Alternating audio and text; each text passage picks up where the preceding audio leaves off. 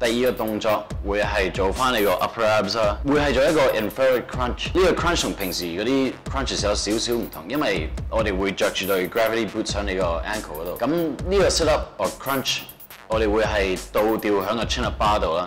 咁首先你要跳起捉住個 chin up bar，and then 提起你兩隻腳，將個 boot 扣喺個 chin up bar 嗰度。然之後慢慢放你個 upper body 落去，until 你係完全倒轉咗嘅。跟住我哋就會做一個 sit up。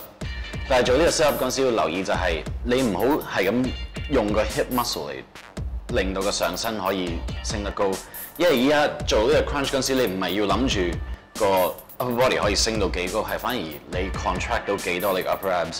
咁你一倒轉咗嗰陣時，我哋又係會每做一下呼晒啲氣出嚟，跟住先至收縮。